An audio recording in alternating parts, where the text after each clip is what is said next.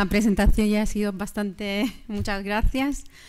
Y yo empiezo siempre disculpándome por mi acento, por mi itañol. Lo siento que si hay algunas palabras que italianizo mucho, por favor, pido disculpas porque llevo unos años aquí y todavía no he aprendido muy bien español.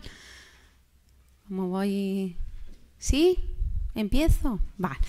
Muy bien. Vale, muchas gracias. Vale, yo voy a, a hacer una parte, ¿vale? Que más de definiciones y que vamos a utilizar sobre todo el día de mañana cuando vamos a hacer ejemplos, ejercicio práctico. Por lo tanto, vamos, es una parte un poquito, decimos así, pesada, matemática, pero bueno, voy a intentar no alargarme mucho, porque luego Jesús va a tomar otra vez posesión del micrófono y, y os va a enseñar también alguna, algunos programas que ha hecho en MATLAB entonces, hemos hablado antes, Jesús os ha hablado que existen dos tipos de incertidumbre, ¿vale? La incertidumbre de tipo A y la incertidumbre de tipo B, ¿vale? Cuando habéis visto que la incertidumbre tipo A, sobre todo depende del número de observaciones, ¿vale? Se calcula a partir de operadores estadísticos como media, desviación, etc. Vamos a ver ahora, nos vamos a centrar un poquito sobre la que son las incertidumbres de tipo B, de que dependen y sobre todo de las probabilidades, de las distribuciones de probabilidad que podemos, podemos asumir para estas incertidumbres. ¿Vale? Por lo tanto, mm, si el misurando responde a una distribución de probabilidad, la estimación del mismo es la media, ¿vale? la media de esta distribución o la esperanza, y su desviación típica es la incertidumbre típica asociada. ¿Qué tipo de distribución? Tenemos la rectangular o uniforme, las rectangulares con límite inexacto, la trapezoidal, la triangular, la arcoseno, la normal y la t-student. La, triangular, la, rectangular, que decimos así la más sencilla, ¿vale? se define como la, si la única información disponible en relación con la magnitud X es un límite inferior a y un límite superior B, donde A resulta menor que B. Y de acuerdo con el teorema, con el principio de la máxima entropía, podemos asignar a esta magnitud X una distribución rectangular en el intervalo A y B. La esperanza matemática se calcula como A más B partido 2 y la varianza y la incertidumbre asociada será B menos A partido 12. Mm, por ejemplo, tenemos la temperatura de una sala donde se efectúan las medidas de una probeta que se encuentra entre 18,5 y 23,5 grados centígrados. Ah, por análisis que hemos hecho previamente, hemos dicho que esta distribución nace o la podemos asumir por datos anteriores, uh, suposiciones anteriores, etcétera. ¿vale? Por lo tanto, sabemos que en base a un análisis previo se sabe que dicha temperatura responde a una distribución uniforme y queremos calcular el valor de la temperatura media y de la desviación típica. De, por lo tanto, en este caso sale que la estimación, por lo tanto la media será 21 grados y la incertidumbre típica asociada a esta magnitud será 1,44 grados, aplicando a más b los límites partido 2 y b menos a partido 12. ¿vale? Aquí tenemos los valores límite. Caso típico en el que podemos asumir una distribución típica, eh, una distribución perdón, rectangular, es el caso de la división de escala. ¿vale? Siempre vamos a indicar, siempre vamos, en la mayoría de los casos podemos indicar que esta es la división de escala, si esta es la lectura o esta es la lectura, siempre se va a quedar, tenemos que asumir una semiamplitud ¿vale? del intervalo de menos e, que sería la división de escala partido 2. Por lo tanto, tenemos que el valor, la estimación de la división de escala, de la corrección a división de escala es nulo y que la incertidumbre asociada a, esta, a estos parámetros es la división de escala partido 2 por raíz de 3, ¿vale? Partido raíz de 12, ¿vale? Si la única información disponible en relación con una magnitud x es un límite inferior más a más menos d y un límite superior de b más menos d, siendo D mayor que 0 y A más D menor de B menos D, entonces siempre en función del principio de la máxima entropía, se vamos a asignar a X, a X una distribución rectangular con límites incorrectos, ¿vale? Inexacto, perdón, no incorrecto. Por lo tanto, la estimación es siempre la misma, ¿vale? Que la mitad y su incertidumbre típica asociada será igual a este valor. Es decir, tenemos que considerar también esta este parámetro D, ¿vale? Ah, ejemplo, ¿vale? Si un certificado se establece que una tensión X se encuentra en un intervalo de 10 más o menos 0,1 voltios y no se dispone de información adicional sobre X, excepto que se cree que los valores de los extremos del intervalo del resultado el redondeo correcto de algunos valores numéricos, sobre esta base nosotros podemos considerar una distribución rectangular con límite eh, inexacto ¿vale? y calcular en este modo la, estimación, la media y su incertidumbre típica. ¿vale? Estos son algunos casos que... El caso de una distribución trapezoidal, Suponemos que una magnitud X depende, se define como la suma de dos magnitudes independientes, X1 y X2, ¿vale? Donde para y igual a 1 y igual a 2 se asigna uh, a la XY una distribución rectangular con límite inferior A con Y y límite superior B con Y. Entonces la distribución de la magnitud X es una trapezoidal simétrica con un límite inferior A y un límite superior B. Y aquí hay un pequeño error y un parámetro beta que es igual a la relación entre la ah, semiamplitud de la parte superior del trapecio y de la parte de la base, como se ve aquí. ¿Vale? Y eso es presente, por lo tanto, en este caso, la esperanza matemática y la incertidumbre típica será la que se indica en esta fórmula, ¿vale? En función, ¿vale? De la beta también caso de una distribución triangular. En este caso, cuando la magnitud x se define como la suma de dos magnitudes independientes, a la que se le asigna una distribución rectangular con la misma semiamplitud, es decir, BI, B1 menos A1 es igual a B2 menos A2. Entonces la distribución de x es una distribución triangular simétrica en el intervalo A y B. En este caso, la incertidumbre típica será igual a B menos A partido 24. Y este caso también, como en el caso anterior, nosotros hemos visto el caso anterior de una temperatura de la sala donde se, eh, efectúan las medidas de una probeta que se encuentra en el intervalo 18,5 eh, 23,5. En este caso, si en base a un análisis previo se indica que la temperatura corresponde a la distribución triangular, podemos calcular la media y la incertidumbre típica asociada.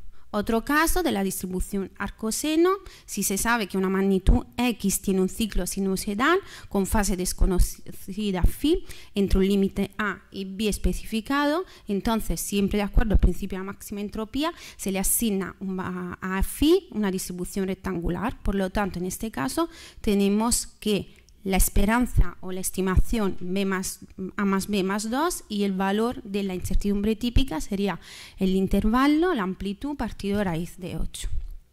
¿Vale? En este caso igual, si como en el caso anterior, siempre lo calculamos como en base a esta fórmula.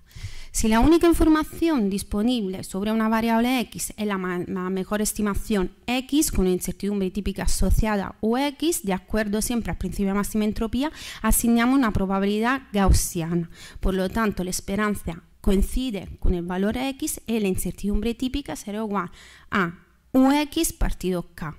¿Vale? En este caso podríamos indicar que si tenemos un intervalo a menos b de 93, ¿ah?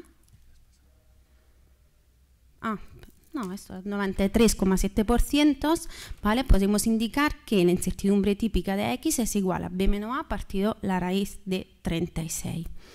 Si la fuente de incertidumbre acerca de una magnitud X es un certificado de calibración, ¿vale? Que establece como su mejor estimación la X en la incertidumbre expandida U, que luego vamos a ver con la definición de incertidumbre expandida, expandida con un factor de cobertura K, y los grados de libertad lo indicamos como mi mu efectivo, entonces en este caso podemos indicar que podemos calcular que la incertidumbre típica se puede calcular con esta fórmula. ¿Vale? La raíz de lo grado libertad efectivo partido los de libertad efectivo menos 2 por la incertidumbre expandida partido K.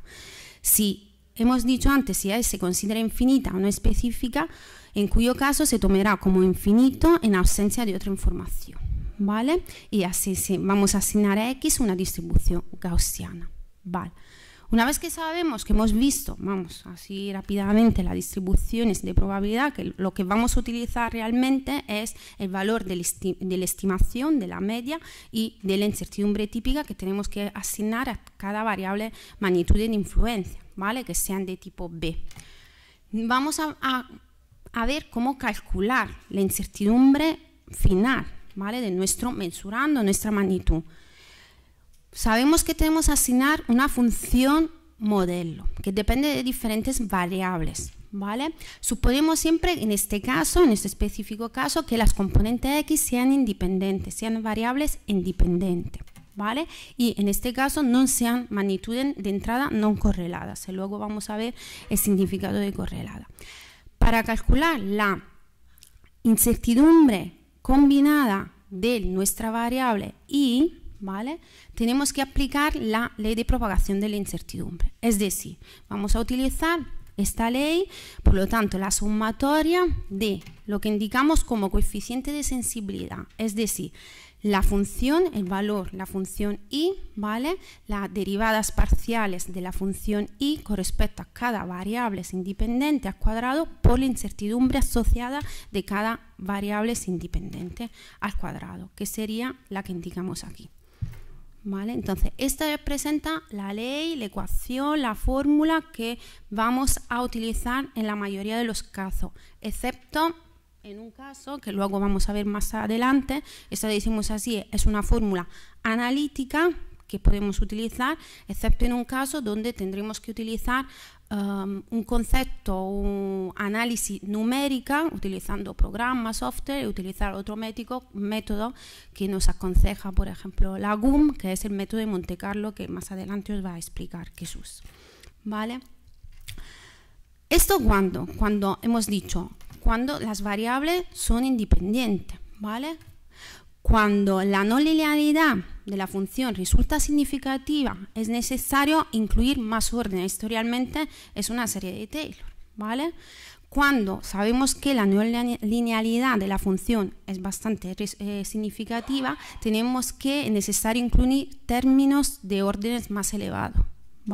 En este caso tendremos que añadir lo que se llama la correlación. Por lo tanto, vamos a añadir estos términos, que son un poquito más complicados. ¿vale? Ejemplo muy sencillo. ¿vale? Yo hacemos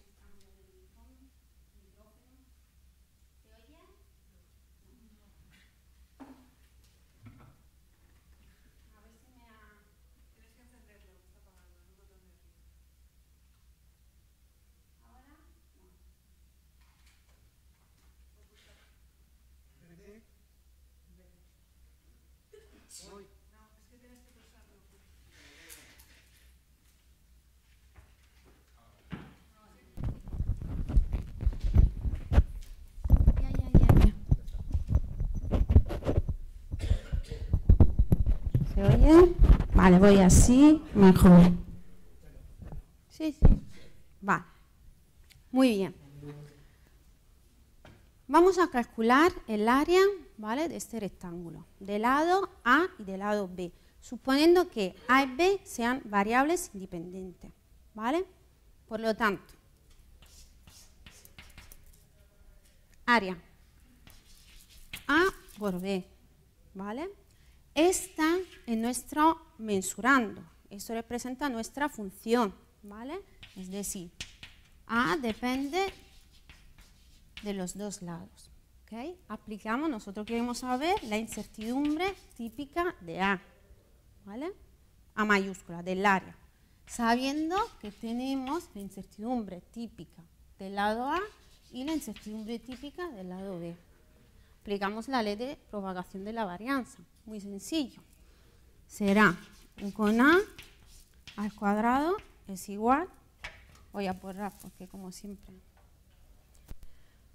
Sumatoria ¿vale? Hemos dicho, pedí que va de 1 a 2 de la derivada parcial de la función partido cada variable al cuadrado, en este caso x por la incertidumbre típica de cada magnitud de entrada. Sería, hacemos así, partido a al cuadrado por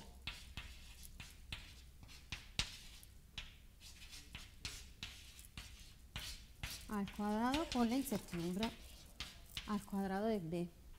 Estos son nuestro coeficiente de sensibilidad. ¿Vale? La derivada de a con respecto a es b. La incertidumbre típica y la derivada de a con respecto a b es a pequeño. Por lo tanto, hemos calculado la el cuadrado de nuestra incertidumbre del área. Vamos, si quisiéramos saber la incertidumbre final, sería todo la raíz de todo esto. Y hemos calculado. ¿Qué tenemos que saber? El valor de la incertidumbre de A típica del lado A y del lado B. Esta incertidumbre, que pueden ser incertidumbre de tipo A o incertidumbre de tipo B, depende. Si es de tipo A, lo calculamos a través, a partir de la n estimaciones, de la n observaciones, calculamos la desviación típica a partir de la raíz de n. Si se corresponde a alguna de las distribuciones anteriores, directamente imaginamos una distribución triangular, rectangular, lo que sea, sea aplicamos la fórmula. ¿vale? Por lo tanto, es importante, y esto vamos, lo digo a todos mis alumnos, que en la ley de propagación de la varianza siempre vamos a utilizar la incertidumbre típica, ¿vale? Y esto lo digo ahora porque luego vamos a ver la incertidumbre expandida también. ¿Mm? ¿Tú?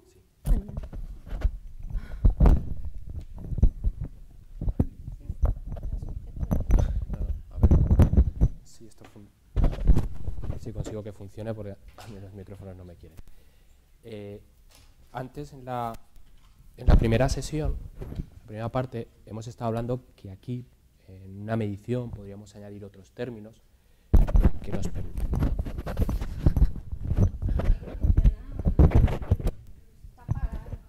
¿Mejor? ¿No? ¿Sí? Eh, hemos dicho que podemos añadir correcciones o otros términos para hacer que esa medida eh, pueda corregir los posibles errores o otras contribuciones que tiene. Entonces, vamos a complicarnos un poco la vida. Ya hemos visto que nos ha quedado esta expresión que nosotros tenemos aquí. Entonces, eh, A, que nosotros tenemos ahora mismo, que es la lectura que nos estaría dando este instrumento, imaginemos que lo hacemos en condiciones de repetibilidad, le vamos a poner el subíndice B. Van a ser las lecturas brutas de nuestro instrumento. Si ese instrumento está calibrado, y debería estarlo, lo siguiente que debería añadir aquí sería una corrección de calibración, es decir, que sumo o resto para que los resultados de ese instrumento sean correctos. Para la medida A. Y además, como hemos visto antes, una de las fuentes de incertidumbre que ha mostrado Piera, tenemos eh, un error que siempre vamos a intentar añadir a todas las medidas que nosotros hagamos, que es el debido a la división de escala sea el instrumento analógico o sea digital. Es decir, digitalmente él hará un redondeo en algún momento dado, aunque nosotros no lo veamos y lo tengamos en el display. Por lo tanto, yo aquí puedo añadir una corrección por división de escala de las medidas A, por ejemplo. Y aquí es cuando ahora me puedo complicar, como os había dicho, todo lo que yo quiera. puedo asumir que existe un error de coseno, es decir, no estoy midiendo eh, en esta dirección, sino que estoy midiendo inclinado pues le añado posible error de coseno de la medida A. Puedo añadir un error que me evalúe que yo hago mucha fuerza y esos palpadores penetran en el mensurando y por lo tanto lo están haciendo más chiquitito. Pues puedo añadir un error por penetración y así todos los que yo quiera. Fijaros que de una variable que teníamos en la función modelo inicial hemos pasado a una, dos, tres, cuatro y cinco. Lo mismo deberíamos hacerlo ahora para la variable b.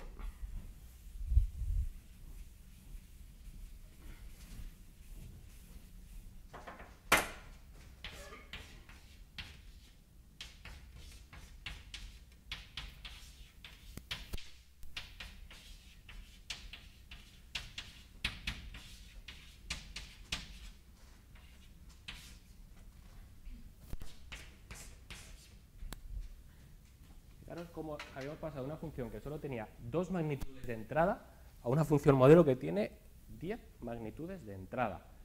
Lo que nos obliga a calcular 10 derivadas parciales, calcular 10 contribuciones a la incertidumbre. Esto es lo que, como os digo, la experiencia es la que muchas veces nos determina si yo añado aquí o más cosas. Mínimo, mínimo, yo siempre os recomiendo que añadáis estas tres. Es decir, la corrección de calibración es fundamental para asegurar la travesía de las miras y la corrección de división de escala también. Y fijaros que son tres variables. Luego veremos eh, y os haré una demostración del teorema central del límite y por qué es importante ese número 3 que estamos fijando aquí. Ahora mismo.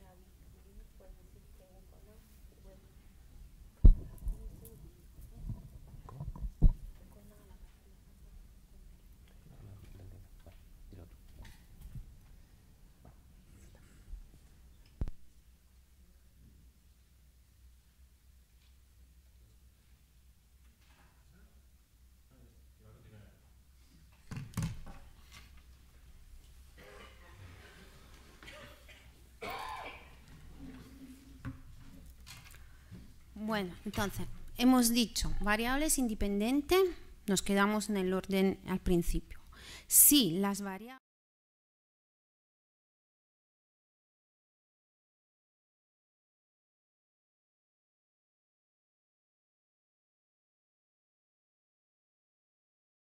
decimos así, nos complica un poquito el cálculo, ¿vale?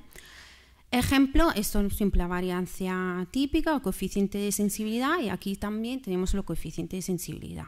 ¿vale? Y esto representa nuestra covarianza, ¿vale? el elemento que indica la correlación entre las variables, en este caso xy y xy.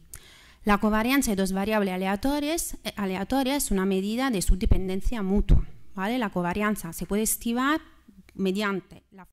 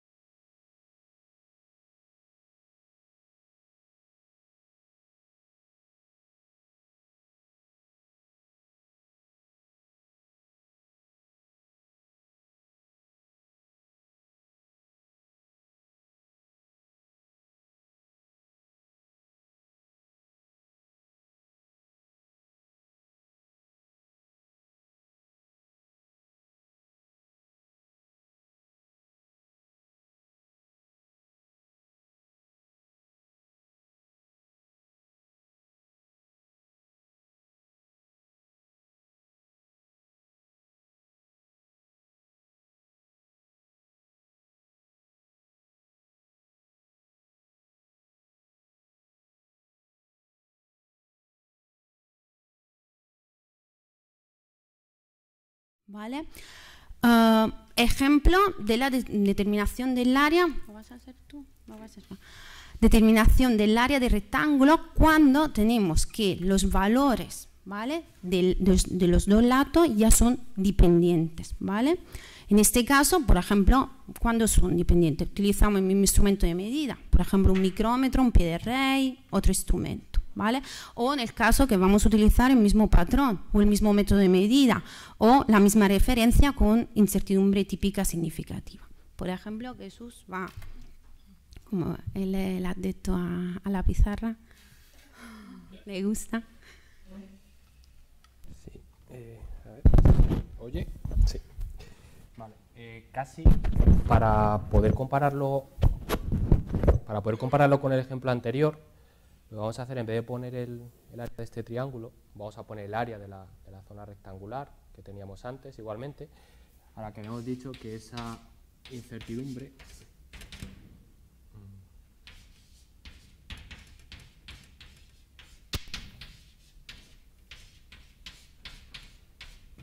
era esta que tenéis aquí, ¿vale? En el caso simple en el que no hemos añadido ningún otro tipo de correcciones.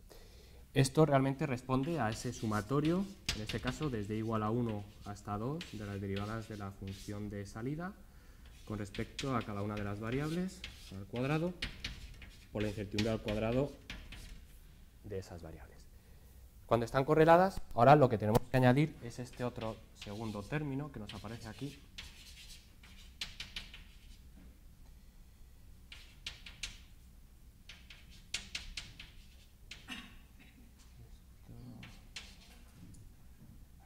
no recuerdo los índices. Voy a ponerlos bien, n más 1.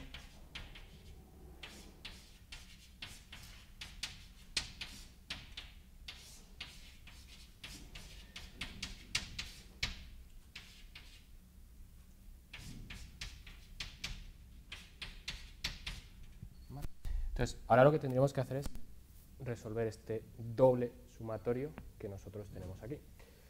En este caso, como veis, tenemos desde igual a 1 hasta n igual a 2. Por lo tanto, empezamos por 1, n 2 menos 1 es 1, por lo tanto, nos quedamos solo con la primera variable. Lo voy a ir poniendo aquí el desarrollo por la derivada parcial de f con respecto de x sub 1 por x sub j, ahora mismo sería la de la variable 2 que nosotros tenemos, es decir, la derivada de f respecto a x sub 2 por el término de la covarianza que tenemos ahí.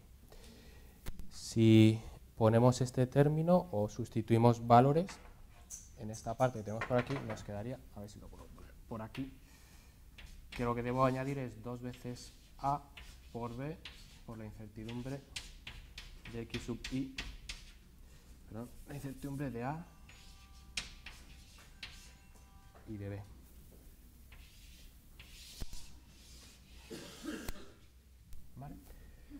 Lo hemos añadido porque una de las recomendaciones es que si utilizamos el mismo instrumento, las medidas van a estar correladas entre sí. Y fijaros, este término ahora mismo nos aparece como valor positivo. ¿vale? Pero, ¿qué ocurriría en alguna función en la que alguna de estas derivadas fuera negativa? Que pueden salir. Fijaros que este término de contribución a la incertidumbre de correlación puede ser positivo o negativo. Y en algún caso, si esto sale negativo con alguno de estos términos, lo que estamos consiguiendo es disminuir la incertidumbre de nuestro ensayo, que en algún momento puede ser interesante haber hecho esta hipótesis de que existe eh, una correlación significativa entre alguna de las variables. Eh, muchas veces el problema es cómo estimo esta incertidumbre o esta covarianza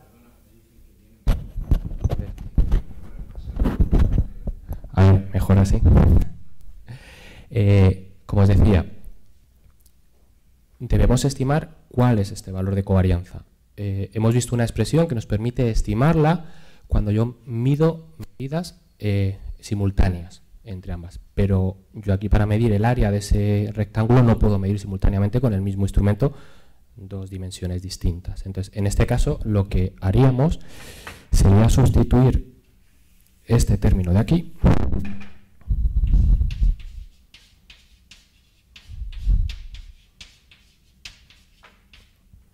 por esta otra expresión que tenemos, que es a partir expresar esa covarianza en función del coeficiente de correlación. Aquí ya lo único que nos quedaría estimar es este coeficiente de correlación, que eso no lo puede, pues bueno, lo podemos fijar, puede variar entre menos 1 y 1 y nuestra experiencia nos puede decir qué valor puede tomar muchas veces. ¿vale? por ejemplo, entre valores muy próximos es lógico que estén relativamente correladas las lecturas. Si las dimensiones, las lecturas son muy distintas, pues el coeficiente de correlación se irá haciendo cada vez más pequeño. ¿vale? Eh, deciros que este coeficiente de correlación solo evalúa correlación lineal.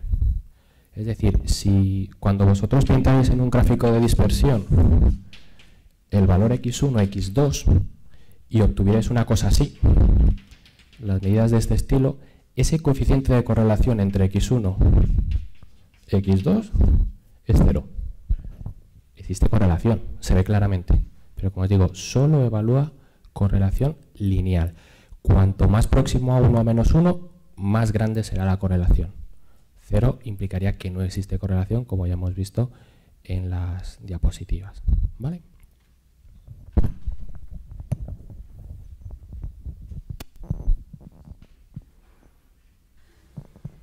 Vale.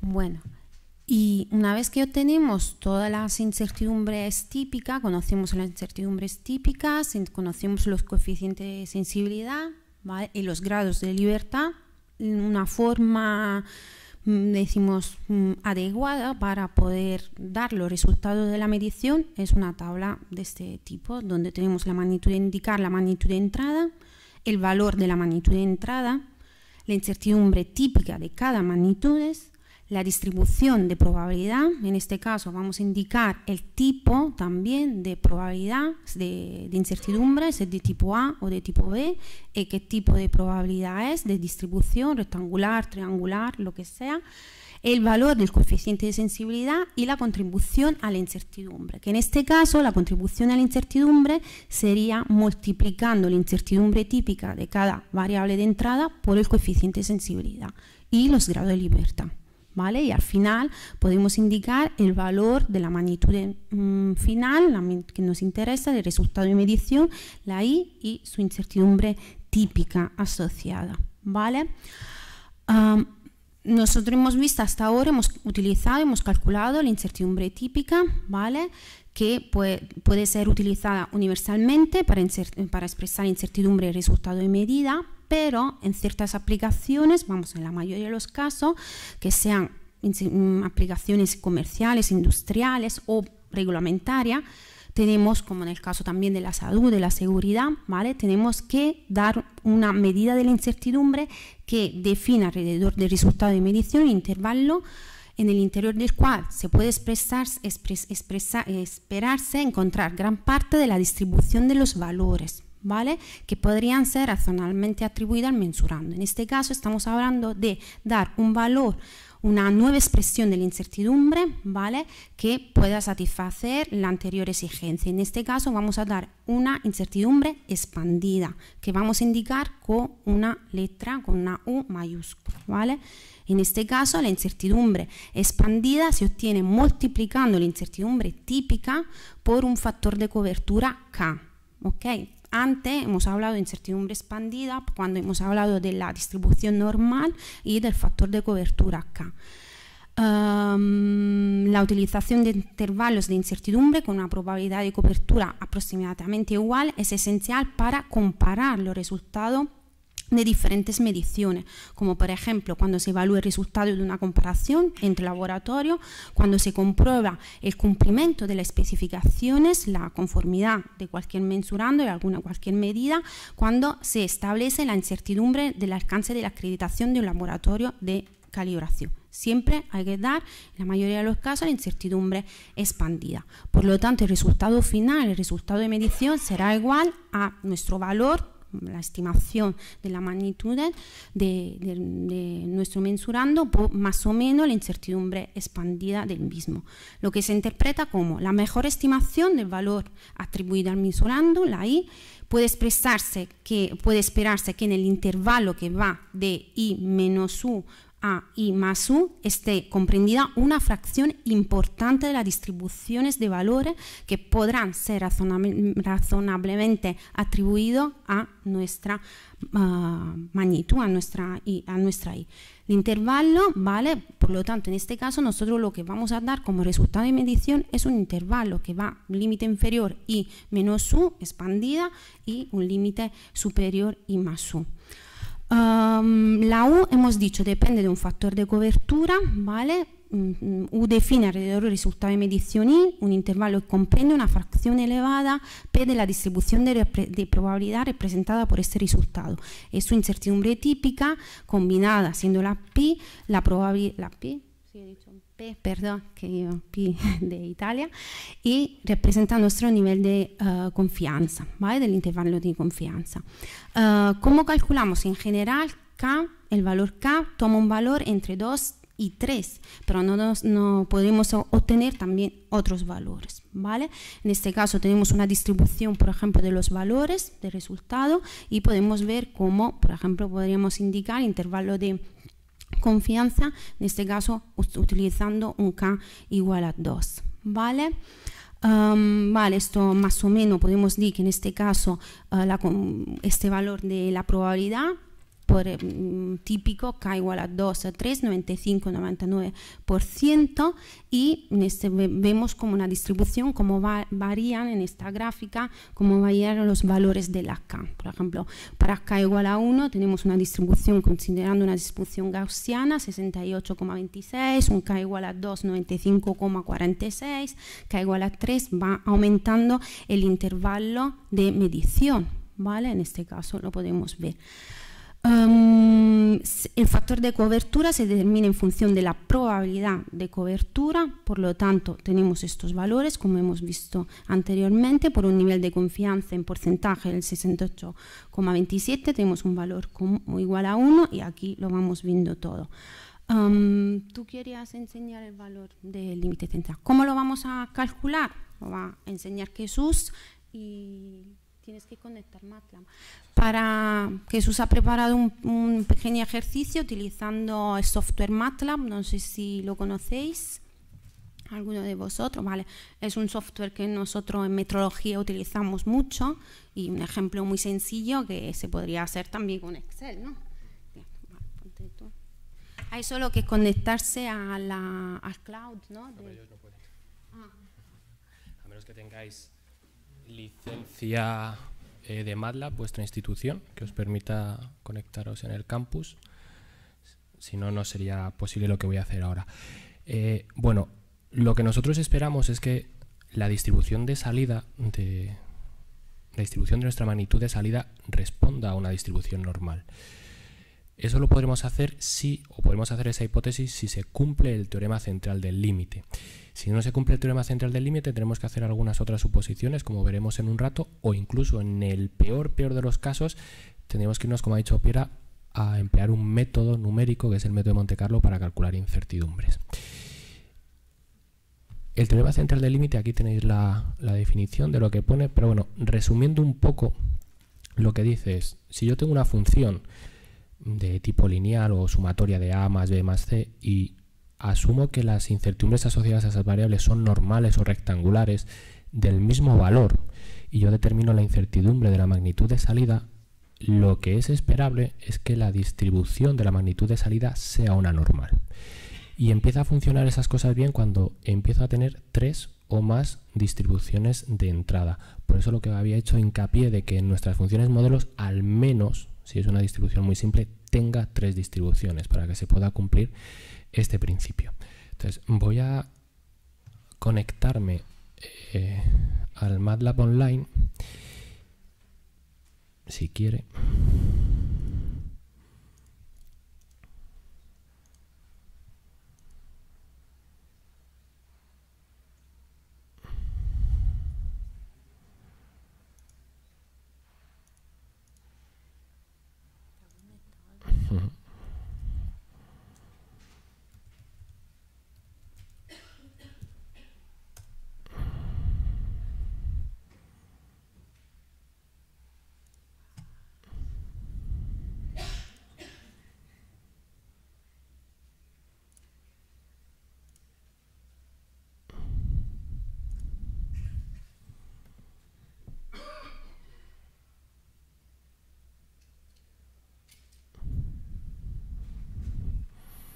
Accedo con mi cuenta.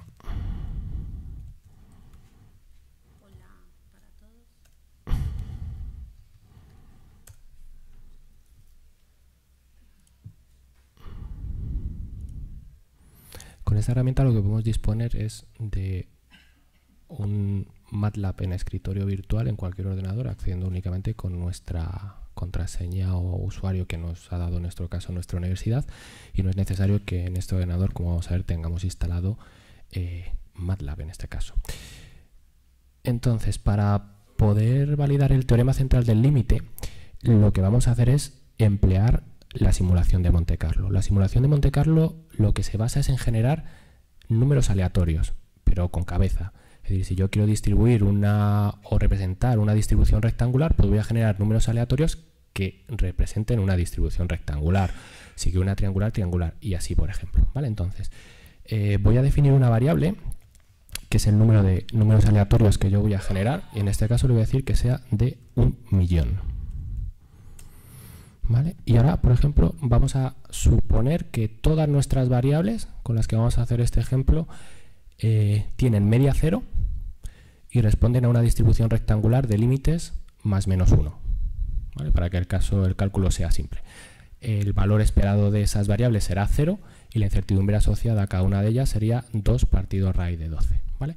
Pero en vez de calcularlo de esa manera, lo que voy a hacer es generar una variable aleatoria, x1, y le voy a decir que quiero que me genere en esa variable aleatoria números que respondan a una distribución rectangular de límites menos 1, 1.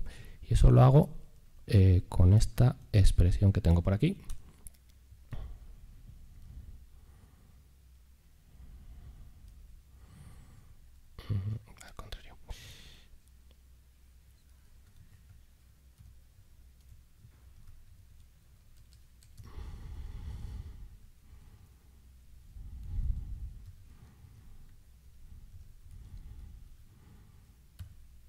Ahí con eso lo que he conseguido es generar valores que empiecen con el límite menos 1, que tengan una amplitud entre menos 1, 1 y con esta función, bueno, es decir, esta sería la amplitud igual a 2 y aquí genero números aleatorios que responden a una distribución rectangular de límite inferior 0, límite superior 1. Le pongo el punto y coma para que no muestre ese millón de resultados en pantalla, pero lo que sí que le voy a pedir al sistema es que me dibuje el histograma de esa función, de esa variable, perdón.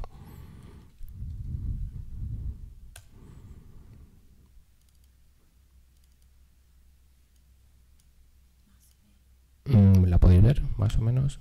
Es decir, vemos que tenemos, aquí está, no sé por qué se ve tan pequeña.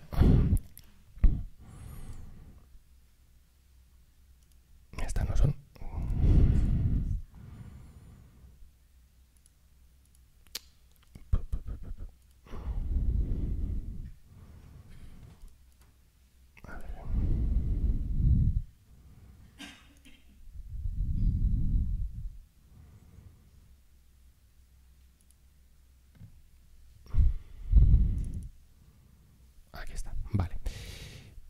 Lo mismo con la variable x2. Vamos a suponer que es igual a otra variable, igual que la anterior. No me deja. Bueno, pues la pongo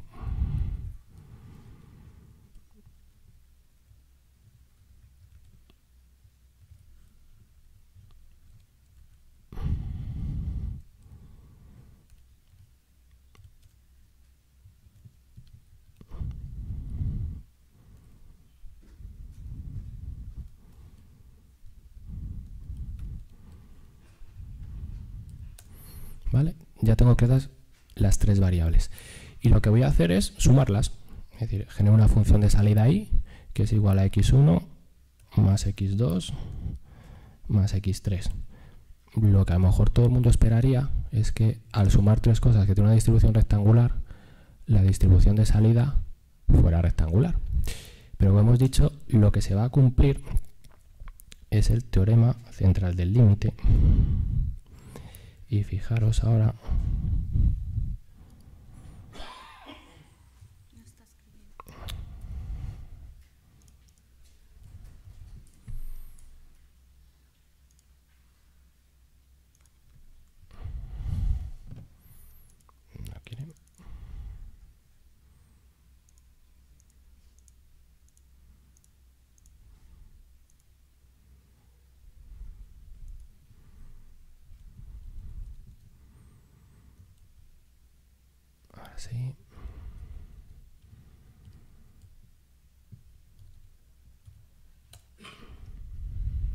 Fijaros cómo la suma, la convolución realmente de esas tres funciones, sale una distribución normal. Vamos a, en vez de hacerlo con sumando tres variables, vamos a hacerlo sumando x1 y x2. Solamente. Y vuelvo a dibujar el histograma de esa variable. ¿Qué pensáis que va a salir?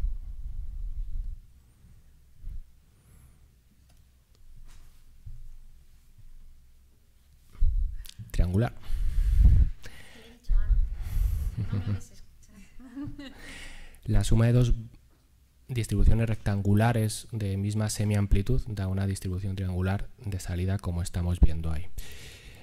Eh, cuando tenemos tres variables se ha cumplido el teorema central límite porque hemos dicho hay tres variables y las tres contribuyen a la incertidumbre de la misma manera, es decir, no hay ninguna predominante que sea más grande que las otras.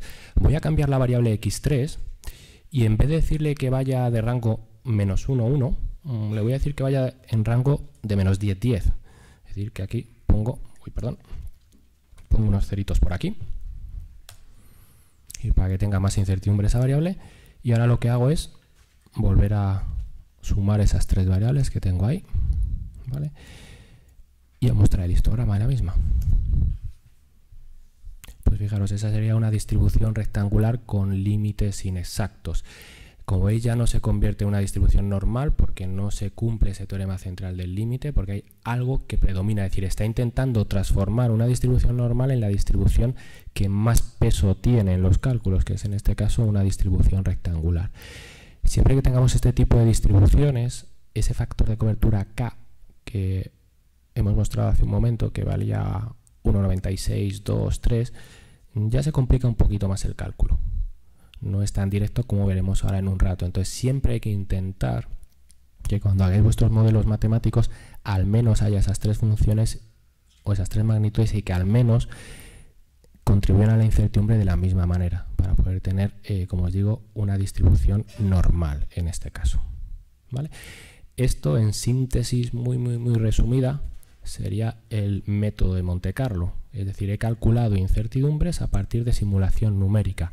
Yo ahora de esta variable i, por ejemplo, podría calcular la media. O podría calcular la desviación típica, que sería la incertidumbre de la variable de salida. ¿Vale? Si hiciéramos los cálculos de manera manual, debería salir idéntico a esto que tenéis aquí. ¿Vale?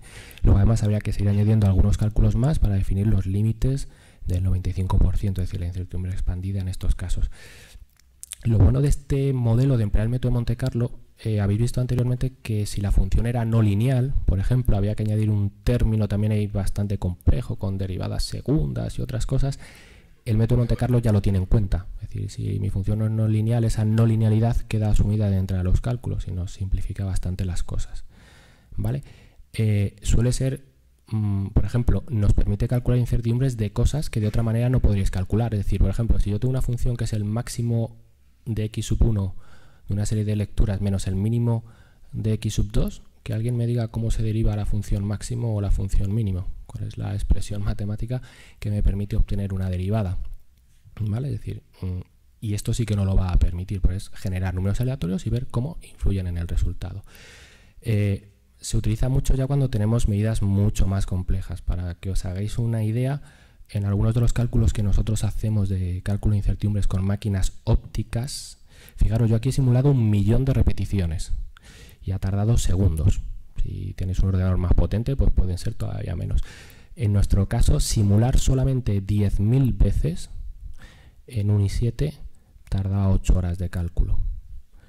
Por ellas son modelos que pueden tener 500, 700, 1000 líneas de código con funciones matemáticas muy muy complejas, pero bueno, se queda ahí, se queda trabajando y no hay ningún tipo de problema, ¿vale? Pero bueno, esto es para que tengáis una una idea de que existen otros métodos que nos permiten calcular incertidumbres de manera más compleja. Esto casi sería raíz de otro curso, porque el método de Monte Carlo sería... nosotros en grado ni lo impartimos, esto ya es para alumnos nuestros de máster, ya consideramos que es una formación eh, bastante más especializada en, en este caso. ¿vale?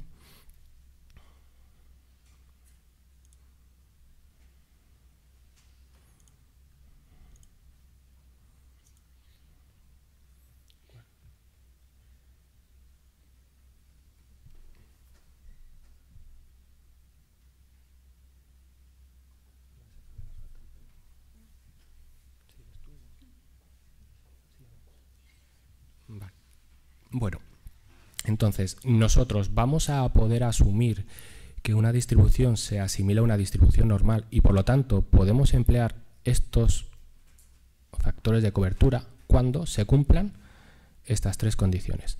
Que al menos tengamos tres variables de entrada en nuestra función modelo. Que su contribución a la incertidumbre sea de manera eh, similar. En cuanto tenga esas dos, puedo asimilar eh, que se cumple el teorema central del límite. Ahora el problema es, ¿y si no es así? Si hay una función predominante, como hemos visto hace un momento en la simulación, y que nos transforma la distribución en una cosa rara, como esa que hemos visto, que era una distribución rectangular con límites inexactos.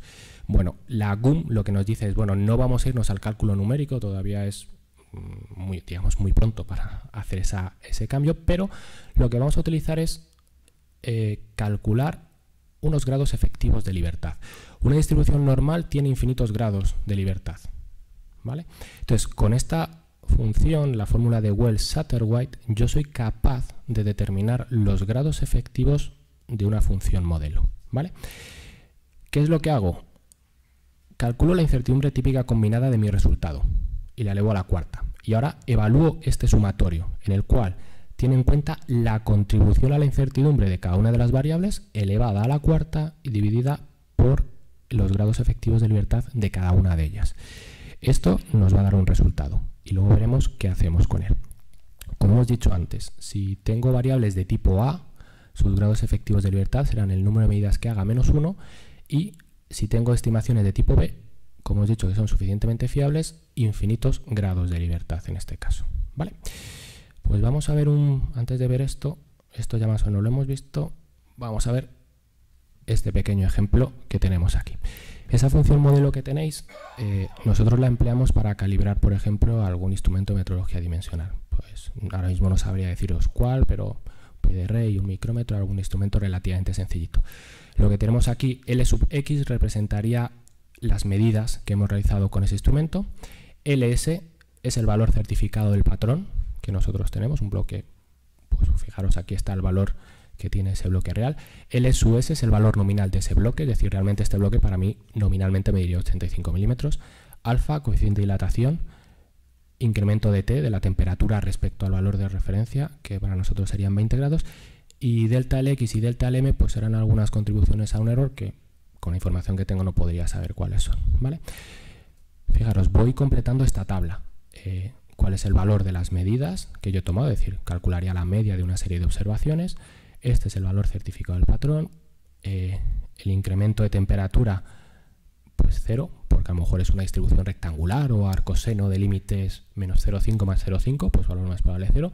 Y estos errores, pues lo mismo, imaginaos que este fuera el de división de escala, que también hemos visto que su valor más probable es cero. Calculo la incertidumbre típica de cada uno de ellos, pues ya sea como veis aquí, de tipo A, pero esto debería ser tipo B, aquí hay una, hay una errata.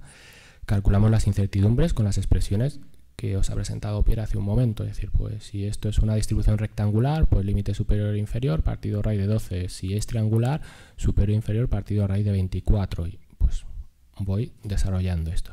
Y aquí lo que hago es determinar los coeficientes de sensibilidad, es decir, las derivadas parciales de estas magnitudes de entrada respecto de la función que tenemos aquí. Es decir, si yo hago la derivada parcial de esta función respecto L sub x con gorrito, todo esto es una constante, derivo esto y me queda un 1. Si hago respecto a esta variable, me quedaré un menos 1 y así sucesivamente.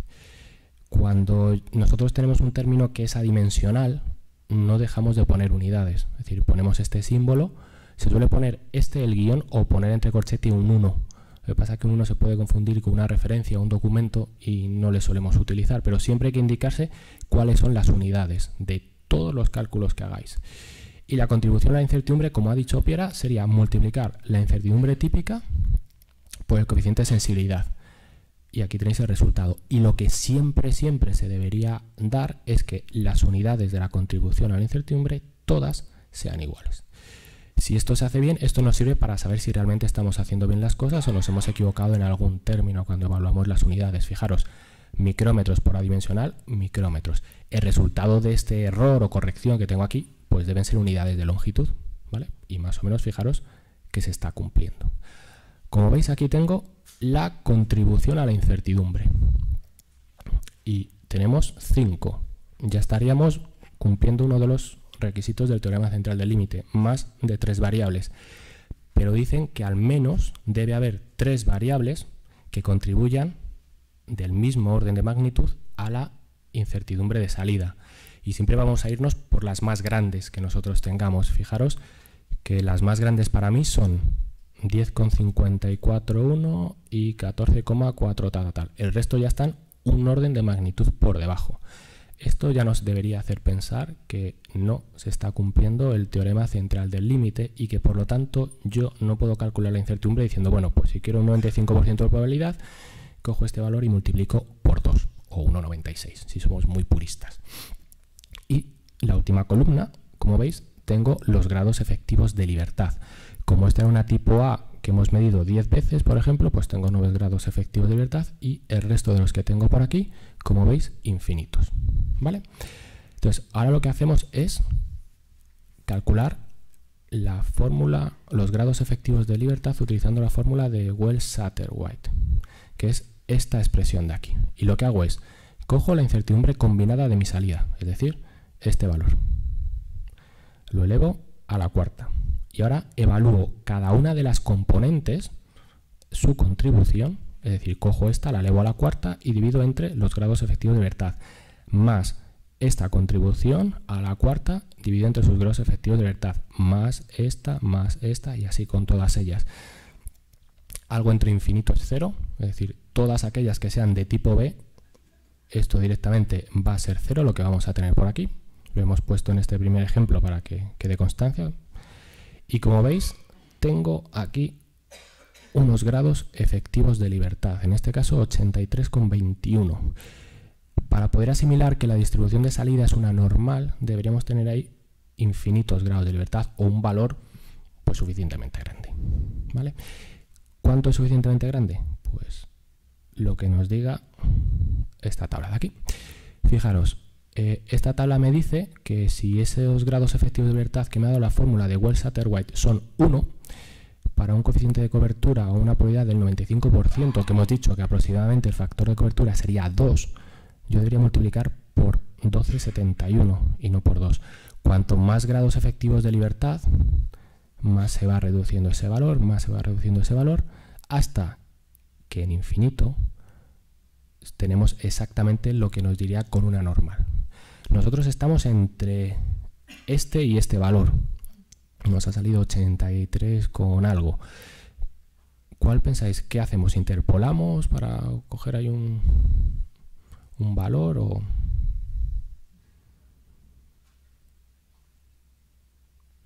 Generalmente lo que hacemos es eh, irnos por la seguridad. Es decir, si yo me tengo que ir por alguno de estos valores, mm, me bajo aquí, como veis es un poquito más grande y doy esta, esta incertidumbre. Es decir, al final la incertidumbre expandida lo que estamos haciendo es mayorarla, mayorar aquí un poquito más no nos va a representar mucho, ¿vale?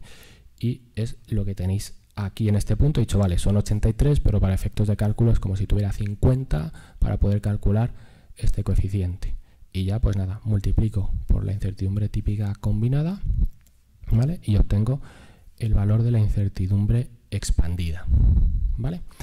Eh, otra cosa importante es el redondeo de las cifras. Es decir, vosotros si tenéis un Excel, pues nada, el Excel puede realizar los cálculos con miles de decimales o con todos los que vosotros queráis.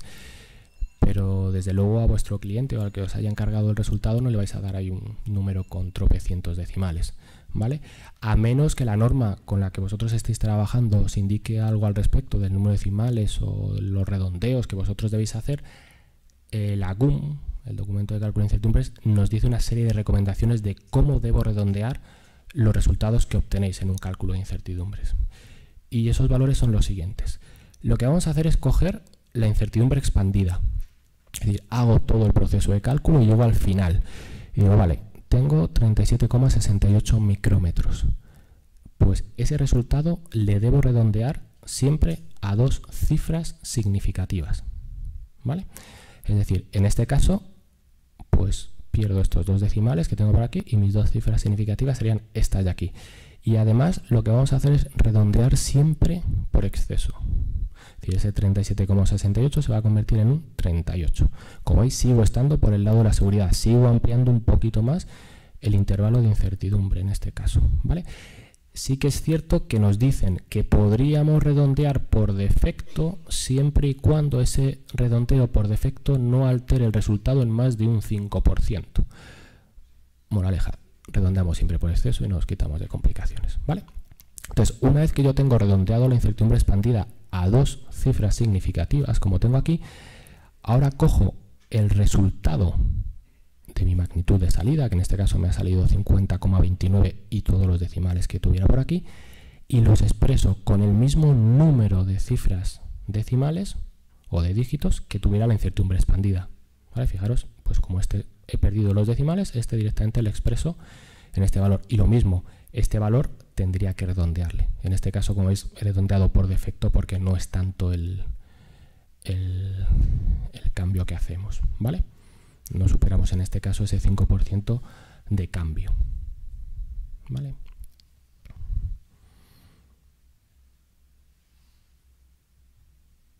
Aquí tenéis eh, cómo se debe hacer todo lo que hemos dicho. Por ejemplo, otro error, bueno, no es error, si lo decimos así, es muy común que cuando alguien da la incertidumbre y va solita, es decir, nosotros decimos la incertidumbre de mi ensayo es más o menos 27 micrómetros. No. La incertidumbre cuando va sola nunca lleva el signo más menos. Se entiende que esa incertidumbre será simétrica respecto a un valor y nunca se indica. Yo digo, la incertidumbre de ensayo es 27,43 micrómetros o lo que corresponda. El más menos siempre se añadirá cuando vaya acompañada del valor del mensurando. ¿Vale?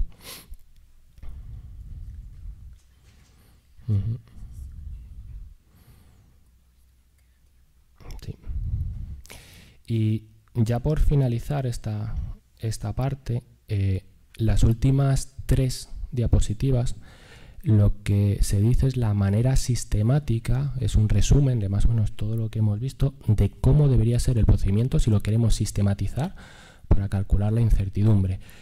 Eh, como veis, primero, fundamental, expresar esas funciones matemáticas. Eso es lo primero que hay que hacer, es decir, de, tener una función modelo matemático que me relacione entradas con salida, con todas las posibles correcciones, magnitudes de influencia, todo lo que vosotros consideréis. ¿vale?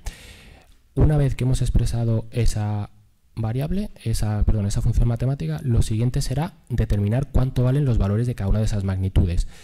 Eh, ya sea porque vamos a realizar medidas, ya sea porque es una constante, ya sea porque proviene de literatura científica, donde sea decir, valor más probable de las variables. Una vez que hemos hecho eso, evalúo las incertidumbres típicas de cada una de esas variables. Primero identifico si son tipo A o tipo B y en función de una u otra empleo las ecuaciones de cálculo que hemos visto en las presentaciones. Analizo si existen covarianzas, es decir, si existe correlación y aún así existiéndola, si debo tenerla en cuenta. ¿vale? Eh, a ver, añadir, si, es el... A ver, para un curso cero, digámoslo así, añadir correlaciones es complicado, porque es un fenómeno singular y saber si realmente existe o no es complejo. Pero bueno, que sepáis que esas correlaciones existen y que las podéis tener en cuenta. Primero, os pueden mayorar los resultados para estar más seguros o al contrario, yo os digo, no los pueden disminuir, que a lo mejor es una ventaja significativa para reducir las incertidumbres de nuestros ensayos. ¿Vale? Evalúo si existen, como he dicho, covarianzas y ya en el paso 5 doy el resultado de la magnitud de salida, es decir, meto todas mis variables de entrada en la, función modelo, digo, pues esto vale lo que corresponda. Determino la incertidumbre típica combinada aplicando la ley de propagación de varianzas. Esto nos requerirá que calculemos esas derivadas parciales, esos coeficientes de sensibilidad de cada una de las magnitudes de entrada. Y ya por último, eh, calculamos la incertidumbre expandida. Si se cumple el teorema central del límite, pues eh, la determinación de ese coeficiente de cobertura K será simple, como hemos visto. Si no se cumple ese teorema central del límite, pues emplearemos la, fórmula de cálculo de Wells-Satterwhite. ¿vale? Si se siguen estos pasos, no debería haber problemas a la hora de los cálculos. Otra cosa distinta será si lo que hacéis es, bueno, pues estimado mal una incertidumbre, lo que debería ser una triangular es una rectangular o un arcoseno. Bueno, eh, eso lo dictará nuestra experiencia, por ejemplo, ¿vale?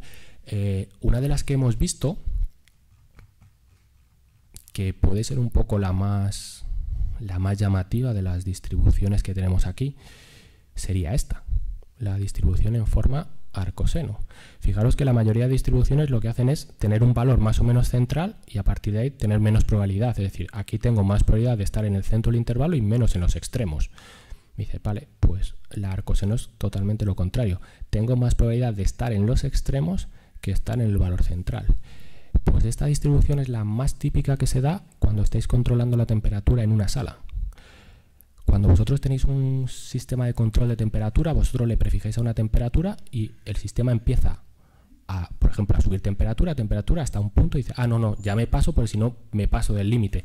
Entonces ya deja de meter calor, por ejemplo, la sala, la temperatura sigue subiendo un poquito y luego vuelve a bajar, vuelve a bajar y en un momento el sistema vuelve a meter calor, vuelve a subir y así. Y lo que vamos obteniendo es una distribución senozoidal, por eso se llama distribución arcoseno. En este tipo de distribuciones es más probable que yo me encuentre en los extremos que en el punto central que nosotros hemos prefijado. A lo mejor la temperatura consigna de 20 grados. ¿vale? Es decir, que estas cosas que parecen así un poco raras a primera vez, ¿esto qué es? Existen y son las, en este caso digo para temperatura, es lo más común. ¿Vale? Y fijaros, claro, el hecho de que esté más, que tengamos pérdida de estar en los extremos, este valor es de los más altos. Los que habíamos visto eran para una rectangular 1,44, para la triangular 1,02 y para esta 1,77, es decir, eh, va incrementándose la incertidumbre. Y ya la última cosa, y con esto finalizamos, si no sabéis qué distribución asignar, siempre la rectangular. Siempre. Es decir, si a mí me dicen en un certificado o en un documento mis límites de variación son 70 más menos 3 y no me dan más información, yo la única hipótesis válida que podría dar es que es una distribución rectangular. Es decir, a mí me han dicho, varía entre esto y esto. Entre estos dos valores no tengo ni idea de lo que hace. La más conservadora sería suponer que se responde a una distribución rectangular. El hecho de que vosotros, sin tener más información, asignarais una distribución triangular, es porque tenéis información de que es más probable que esa variable se concentre en el centro y no en los extremos. Pero solamente ya os digo, si solo os dan los límites, no puedo decir otra cosa que no sea una rectangular. ¿Vale? Sí, sí. Vale, hemos ido más rápido de lo que pensaba. vale, pues... Además casi mejor por una parte eh, lo que vamos a hacer es poner el, el primer ejemplo que teníamos pensado para mañana, así nos podemos también pues, centrar un poquito más en, en ello, ¿vale?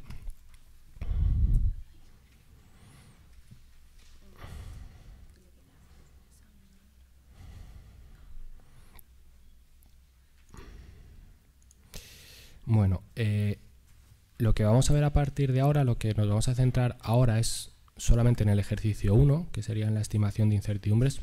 Vamos a aplicar un método de calibración. En este caso era, si no recuerdo mal, de un pie de rey, ¿vale? Para tener un caso de medidas dimensionales.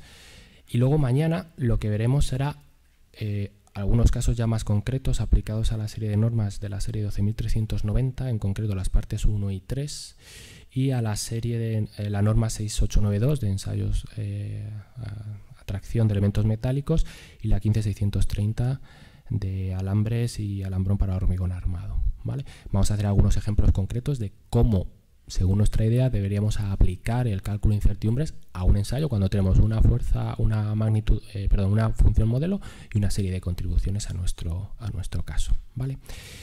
Entonces lo que va a hacer ahora Piera es explicar esto, un caso puede quedar a lo mejor un poco más fuera de ámbito porque va a ser algo de metrología dimensional, pero bueno, creo que casi todo el mundo habrá empleado en algún momento dado de su vida un pie de rey.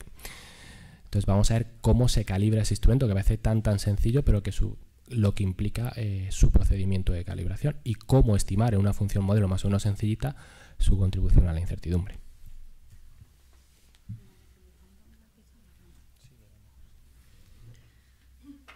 Bueno, vamos a hacer un, examen para vosotros, a ver si habéis estado atentos todos. Vale, y bien, como ha dicho Jesús, vamos a hacer un ejemplo sencillo, pero explicando un poquito lo que hemos visto hasta ahora de la calibración de un instrumento, que en este caso es pie de rey. Vamos a ver los pasos principales, que son seleccionar, cuando hablamos de calibración, por supuesto estamos hablando de un pie de rey, por ejemplo, de un laboratorio no acreditado, ¿vale? Un laboratorio industrial, un laboratorio de, como nuestro laboratorio, o entonces vamos a utilizar un patrón de un nivel un pelín más alto de nuestro instrumento. Por lo tanto, tenemos que seleccionar el patrón, tenemos que medir ¿vale? con el instrumento que queremos calibrar un número de veces, por ejemplo, n veces el patrón, ¿vale? Por lo tanto, estamos ya en el caso de la repetibilidad del instrumento, de analizar la repetibilidad del instrumento. Tenemos que determinar la corrección de calibración del instrumento, ¿vale? Y para determinar la corrección de calibración del instrumento, nosotros vamos a utilizar una función modelo. En este caso, la función modelo es la corrección de calibración. ¿vale? Y vamos a calcular las la incertidumbre típica combinada, que es la final de la corrección de calibración, pero tendremos que calcular, analizar las incertidumbres típicas de todas las magnitudes de entrada. ¿vale? A través de la ley de propagación de la varianza. ¿vale? Esto un pequeño ejemplo, ¿vale? Vamos a medir cómo deberíamos calibrar el instrumento, en este caso el pie de rey. Para calibrar este tipo de instrumento podemos utilizar dos tipos de calibraciones, ¿vale? Eh, una calibración global, es decir, vamos a calibrar en diferentes puntos de la escala del instrumento, por lo tanto, en diferentes materializamos, decimos así, la escala del instrumento utilizando patrones de diferentes dimensiones o necesitamos, por ejemplo, calibrar de manera puntual, solo en un punto de la escala, ¿vale? Utilizando un solo patrón, ¿por qué patrón? Perdón, porque vamos a utilizar este instrumento solo para esta medida, ¿vale? Si vamos a utilizar en diferentes puntos, deberíamos repetir la medida en cada punto. Por lo tanto, deberíamos volver a utilizar, decimos así, este flujograma en cada punto de la escala. ¿vale? Como por ejemplo en este caso, en el punto 1, calculamos la corrección de calibración, incertidumbre típica combinada, la media, etcétera, la desviación, etcétera, así como en cada punto. Vamos a es el ejemplo que os vamos a, poner para que lo resolváis vosotros. vamos a, calibrar, ¿vale? Vamos a calibrar el instrumento en un punto de la escala, por lo tanto vamos a hacer una calibración puntual. El punto de la escala tiene valor nominal 52,478 milímetros. ¿Vale? Y ya tenemos la función modelo, perfecto, por lo tanto no tenemos que pensar, porque muchas veces, como dice siempre Jesús, tenemos que realizar nosotros la función modelo, este, pensar en todas las que son las contribuciones, ¿vale? a la incertidumbre. Por lo tanto, tenemos la función modelo que nos permite ah, calcular ¿vale? la calibración, la corrección de calibración. Y tenemos que es igual a la longitud del bloque patrón. Estamos haciendo una calibración, por lo tanto, nuestro mensurando en este caso es nuestro bloque patrón, ¿vale? O composición de bloque patrón, ¿vale? Depende. Si estamos calibrando en un punto de la escala y tenemos el bloque patrón que corresponde exactamente de valor nominal al punto de la escala, utilizamos un solo bloque patrón. Pero si tenemos, como en este caso, un valor nominal particular, ¿vale? Puede ser que tendríamos, no tenemos exactamente el valor del bloque patrón en nuestra caja de bloque patrones, tendríamos que combinar diferentes bloques patrón, juntarlo. Y esto es importante porque esto determina una incertidumbre correspondiente no solo bloque patrón, una incertidumbre combinada de la combinación, ¿vale? De, lo, de los tres bloques, tres, cuatro, dos, vamos, más de tres, mejor que no, pero bueno, de cuántos bloques patrón necesitamos. Aquí tenemos el valor medio de la longitud medida por el instrumento a la temperatura, una temperatura T. Y luego tenemos que tener en cuenta la corrección de la división de escala. Este otro valor que, como ha dicho Jesús, siempre en principio deberíamos tener en cuenta. Pero el problema, el ejercicio nos dice que una corrección nula. Una corrección nula o un valor nulo no implica que su incertidumbre sea nula. ¿Vale? Luego tenemos este que representa la corrección debida a la temperatura ¿vale? del ambiente de la sala. ¿vale? Por lo tanto, tenemos la longitud nominal del bloque patrón, ¿vale? que en este caso consideramos constante, que es valor nominal, este valor que aquí. Luego el coeficiente de dilatación térmica lineal del bloque patrón y la temperatura. Aquí ya hemos dicho, la T sería la temperatura ambiente. El ejemplo lo hacemos sencillo, en sentido, pone una nota, se considera que todas las variables son independientes, por lo tanto, a la hora de calcular, aplicar la ley de propagación de las varianzas, no vamos a tener en cuenta la correlación, por lo tanto, menos mal.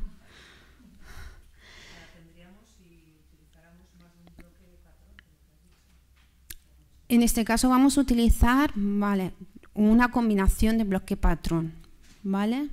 Que juntar diferentes bloques patrón. Realmente podríamos tenerla en cuenta, pero la, no la consideramos. Realmente, ah.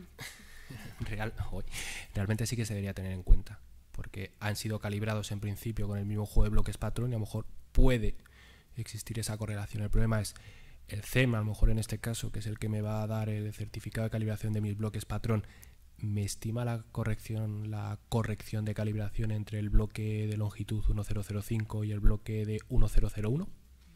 La, la respuesta es no.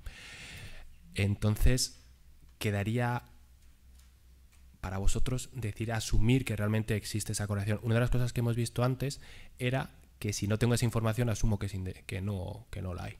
A menos que yo lo tenga muy, muy, muy claro, por mi experiencia en, el, en, el, en, este campo, es decir, sí existe una correlación y me invento, entre comillas, una función que pueda modelar eso.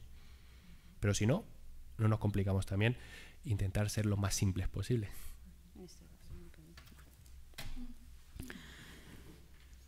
Tenemos como datos coeficiente de eh, dilatación lineal del bloque patrón, este, y me dice que el coeficiente corresponde, se responde a una distribución triangular. Por lo tanto, intentamos recordar cuál es la incertidumbre típica ¿vale? que deberíamos tener en cuenta a la hora de considerar la variable como correspondiente a una distribución triangular. Corrección debida a la división de escala. Sigue una distribución rectangular. En el intervalo más o menos E partido 2, que sería la división, e la división de escala. Temperatura ambiente se ha medido y se corresponde, vamos, tenemos este intervalo entre 23,7 más o menos 0,5 grados y responde a una distribución arcoseno, como ha dicho antes Jesús, que las temperaturas casi siempre, vamos, de una sala corresponde a, a una distribución arcoseno. Y luego tenemos que el punto nominal de calibración se obtiene por composición de bloques patrón longitudinales, que pertenecen a una caja de bloque patrón calibrado y son estos puntos. Aquí tenemos el valor nominal de los bloques patrón y la desviación al nominal de cada bloque patrón. Por lo tanto, a la hora de calcular la incertidumbre de la composición de cada bloque patrón, tendríamos que tener en cuenta la estimación ¿vale? del valor central, central valor, la estimación de los bloques patrón, teniendo en cuenta la desviación al nominal, que es este valor. Y también sabemos que la incertidumbre expandida de los bloques patrón para un factor de cobertura k igual a 2 se puede calcular a través de esta ah, fórmula. ¿vale? Esto es muy típico en el certificado de calibración de los bloques patrón. ¿Vale? Donde en este caso me da información la longitud nominal se expresada en metros y el resultado final en micrómetros. Esto, por ejemplo, es un ejemplo de los bloques patrón longitudinal, una caja de 112 y de cómo se combinan los bloques patrón para obtener un único bloque. ¿Vale? Tenemos los dados de medida, es decir, hemos repetido las medidas sobre las, composiciones de los bloques patrón y hemos eh, obtenido estos valores, ¿vale? estas indicaciones del instrumento que están en esta tabla. Por lo tanto, lo que queremos determinar es la corrección de calibración y su incertidumbre está expandida para un factor de cobertura del 95%. ¿Vale? Sí, que Jesús va a un segundo a rellena a apuntar la tabla, así que no recordamos, pero bueno, no hace falta. La fórmula. Vale, ¿puedo seguir? No. Vale. Antes de todo, corrección de calibración, ¿vale? Simplemente utilizamos los valores de, de, las magnitudes de entrada para calcular la corrección de calibración, ¿vale? Tendremos que calcular el valor nominal, el valor del bloque patrón a la temperatura de diferencia, que es 20 grados, ¿vale? Por lo tanto, utilizando los valores nominales y la desviación nominal de cada bloque patrón. Simplemente sumamos, ¿vale? Entonces, el valor nominal más la desviación del bloque patrón 1 más valor nominal con la desviación al nominal bloque patrón 2 y la valor nominal y la, más la desviación al nominal. Obtenemos este valor. Y esto representa la longitud del bloque patrón a 20 grados. Los valores certificados, por supuesto, los bloques patrón se han obtenido a una temperatura certificada de 20 grados. Luego calculamos la media. Muy sencillo. Una vez obtenido esto, así, hecho estos dos cálculos, ¿vale? vamos a obtener el valor de la magnitud, que es corrección de calibración, sustituyendo los valores. Recordamos que la uh, corrección debida a la división de escala es nula, lo tenemos aquí. Por lo tanto, aquí tenemos el valor de la corrección nominal, de la corrección de calibración, que es menos 2,73 perdón, micrómetros.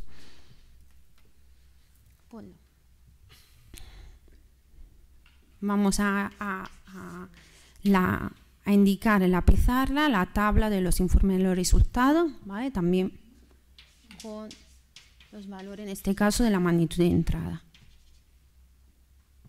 un segundito de suspense.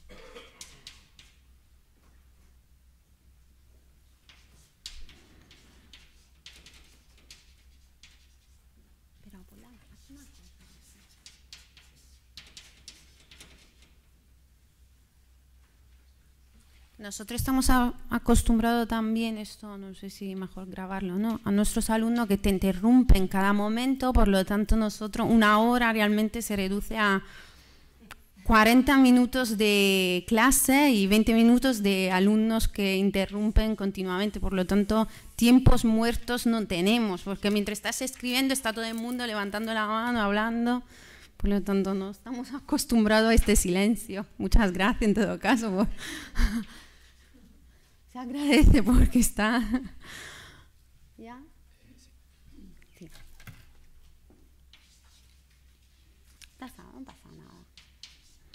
Vamos.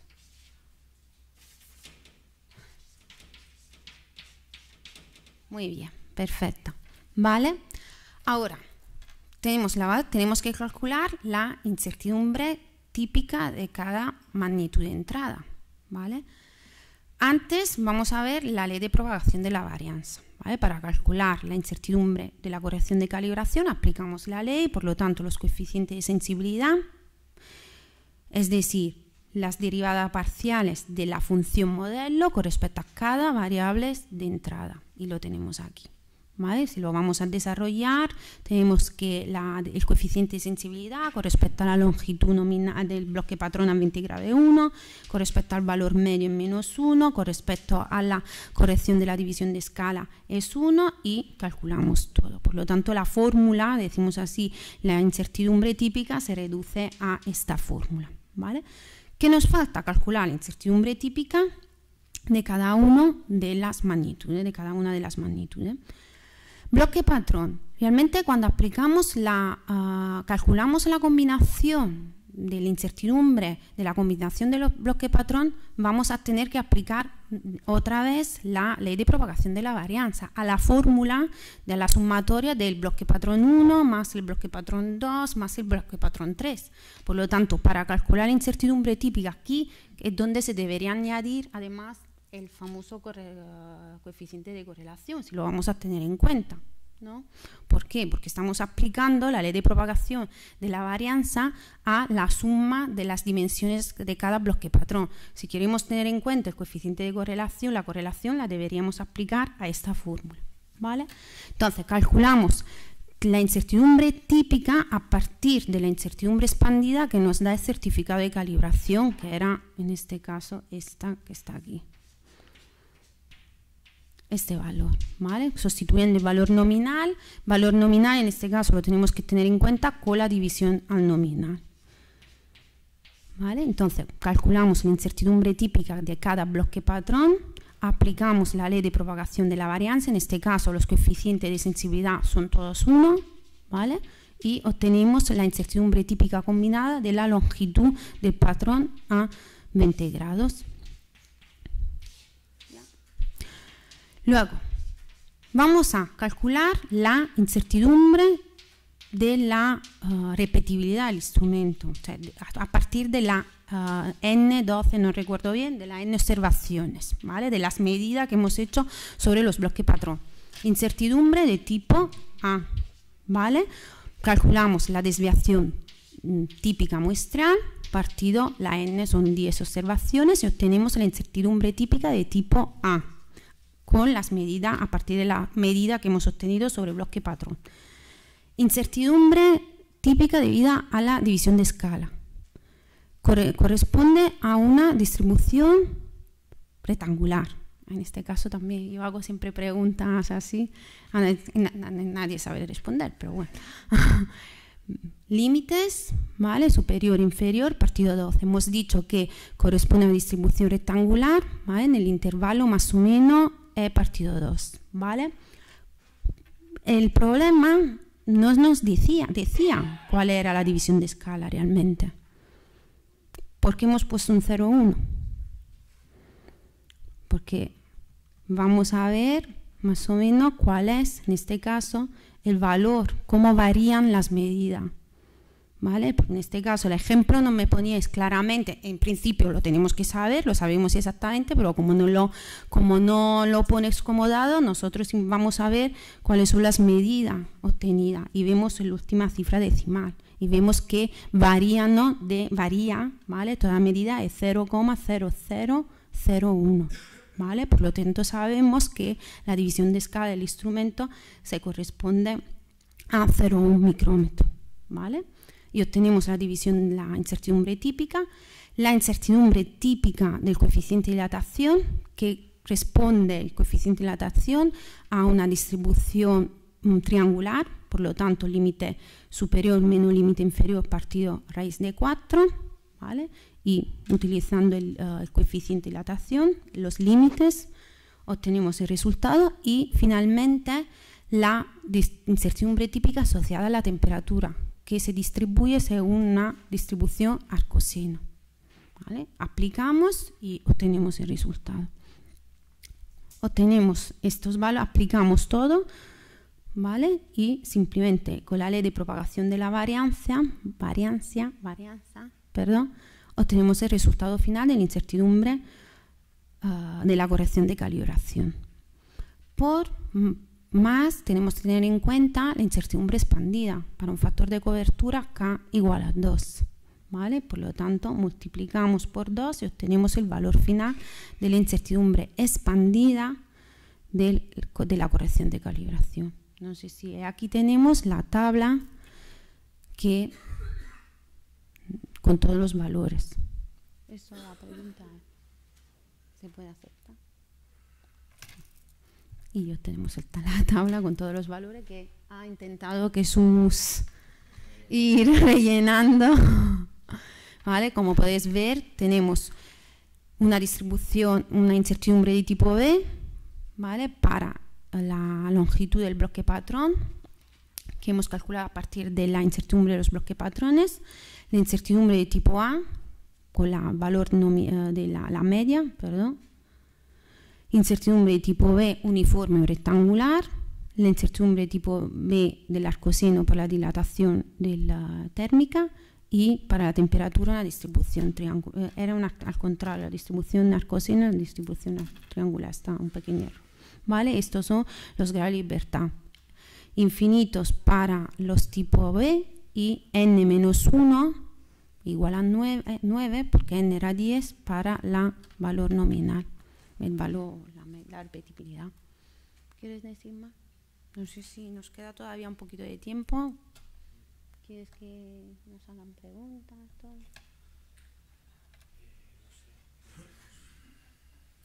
¿Qué preguntas, no? A Jesús. sí. ¿O quieres añadir más? No, bueno, si A lo mejor lo que puede resultar más llamativo siempre es lo del término este de la correlación, que, os digo, que por ejemplo alguna vez podríamos pensar cuándo añadirlo y cuándo podría ser un, momento adecuado para hacerlo o no hacerlo.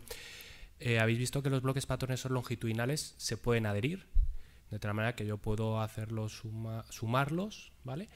Y puedo combinar eh, valores, pero también puedo hacer alguna pequeña resta, por ejemplo, entre bloques patrón longitudinales. Imaginaros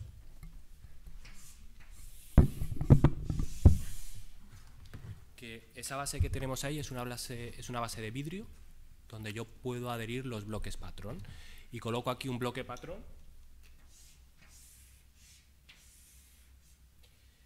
y hay otro, como tengo ahí. Y lo que estoy materializando es un salto, un step entre esta cara y esta otra. El bloque este de aquí vamos a... este va a ser uno...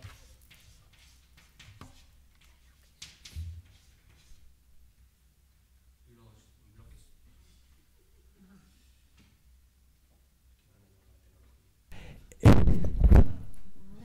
Eh, los bloques patrón longitudinales se definen en intervalos, en saltos. El más pequeñito en salto que tenemos es el de 1005 y el siguiente que podemos tener sería el de 1. A partir de ahí luego van saltando micrómetro en micrómetro. Es decir, que aquí podría materializar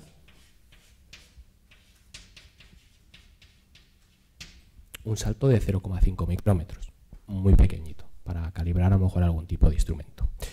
¿Cuál sería la función modelo que deberíamos emplear para caracterizar esa longitud? Vamos a llamar esto x1 y esto de aquí x2. ¿Cómo la calculo? Es decir, ¿cómo reescribo esta ecuación que tengo aquí?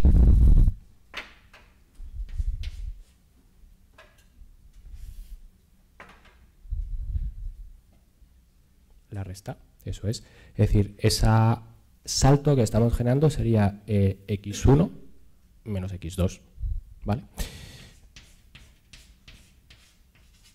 Si desarrollo la ley de propagación de varianzas teniendo en cuenta estas dos variables,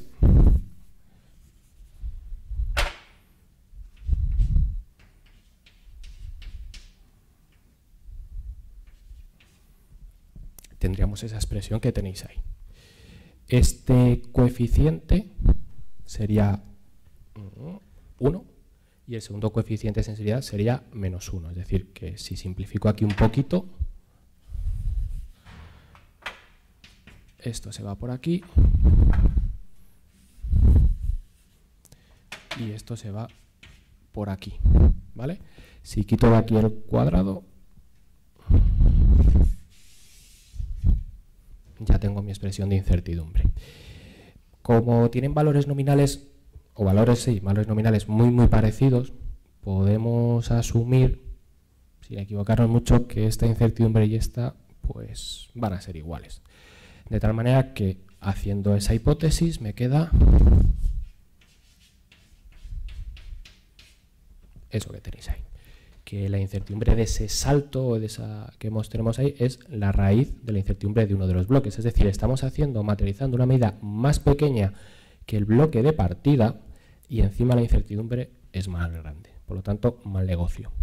Es decir, si queremos hacer esto, deberíamos o tener un, eh, un patrón de step de alturas o añadir algo ahí que me permita reducir esa incertidumbre. Y aquí es cuando el hecho de considerar que esos dos bloques patrones están correlados es una hipótesis bastante buena. Entre otras cosas, porque como hemos visto, vamos, voy a volver a ponerla en forma desarrollada.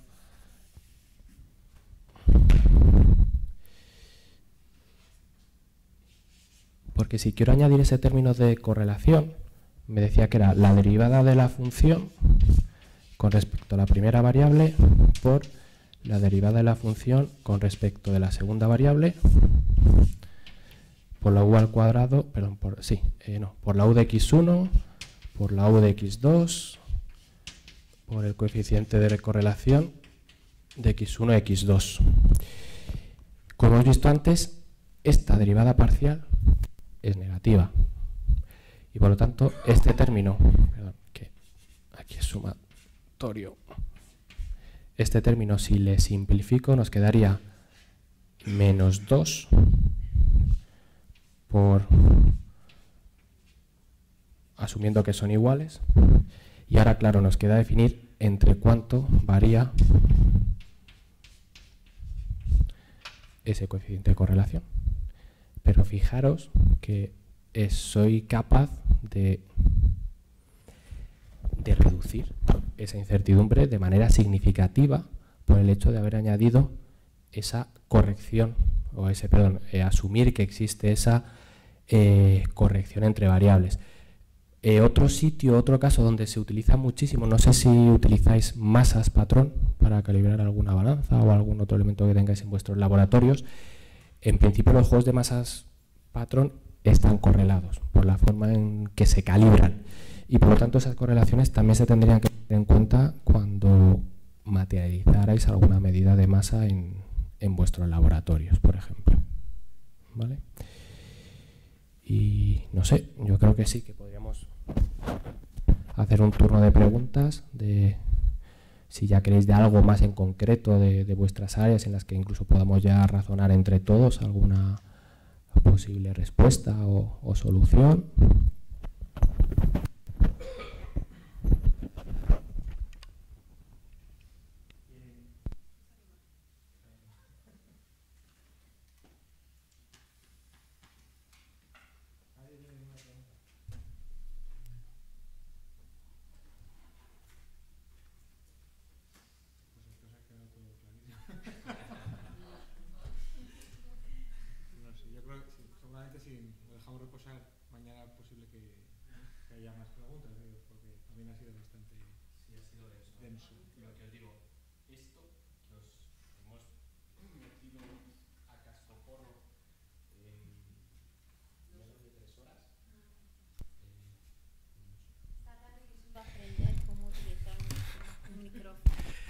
Esto que os hemos intentado explicar en menos de tres horas, pues nosotros estamos dedicando unas 8, 10, 12 horas dependiendo del curso. Es decir, que es meter las cosas un poco con calzador. Eh, la parte de mañana vamos a intentar nosotros imprimir los documentos allí en nuestra escuela para que los podáis tener y así, mientras que nosotros vamos explicando los ejemplos de mañana, eh, que podáis tomar notas o haciendo aclaraciones o alguna otra cosa que yo creo que es también lo más interesante en este caso. ¿vale? Ahora viendo así un poco, la, estas son las cosas de, hacer ejercicios, que siempre se nos pueden pasar algún, alguna cosa. Yo ya he detectado hay un error en esa tabla que tenéis ahí. Es más bien un error en cómo se ha calculado la incertidumbre expandida. Venga, a ver si alguien se anima y dice por qué. Eh, si vuelvo por aquí hacia atrás, fijaros, llego y multiplico la, la incertidumbre expandida por 2. ¿Puedo?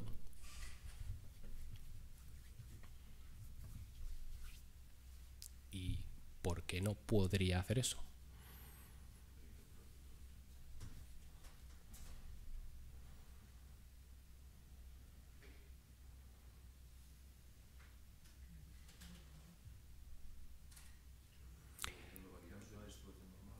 Eh, ¿Se cumple el teorema central del límite?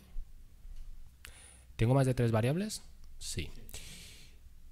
Al menos tres contribuyen en el mismo orden de magnitud al cálculo de la incertidumbre de salida? ¿O por el contrario hay alguna que sea predominante contra el resto de variables? fijaros, nos tenemos que fijar siempre en esta columna, en la contribución a la incertidumbre. Veo que hay una variable que tiene incertidumbre combinada o de contribución a incertidumbre 0,2153 la incertidumbre de salida es 0,2287, es decir, esto representa el 90 y tantos por ciento de la contribución a la incertidumbre en este caso. Entonces, ese cálculo, a ver, está bien hecho, pero nos hemos saltado un pequeño paso. Si vosotros calculáis la fórmula de Wells-Satterwhite con estos valores, los grados efectivos pues prácticamente queden infinitos y podamos hacer la hipótesis de que sea una distribución normal. Es decir, muchas veces que, aun incumpliéndose esto, los grados efectivos son tan tan grandes que puedo asimilar que el resultado de salida es una distribución eh, normal en este caso. ¿vale? Más preguntas. Si vosotros como responsable... Me, da, me sale la vena docente.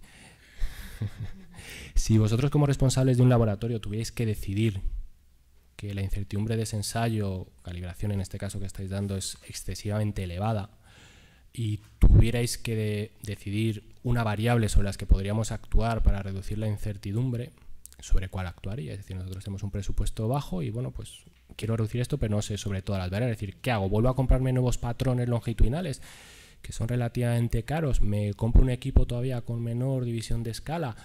Eh, en vez de utilizar bloques patrón de acero, utilizo bloques patrón cerámicos, cuyo coeficiente de dilatación lineal es más pequeño. Mm, ¿Qué hago? Temperatura. Fijaros, también para esto sirven estas tablas. Con estas tablas vemos la contribución de cada una de las variables, cuáles son las más importantes y sobre cuáles yo debería actuar para intentar en un futuro reducir la incertidumbre que estamos proporcionando. Y como bien habéis dicho, en este caso, la que más impera es la temperatura y hemos visto pues por goleada. ¿Vale? Entonces, a lo mejor con un sistema que controle mejor la temperatura de nuestra sala o haciendo un pequeño cubículo para reducirla y con un control más exacto de temperatura, pues esos límites que tenemos ahí los puedo mejorar. ¿Vale? A ver, también hay otra cosa. Nosotros aquí estamos asumiendo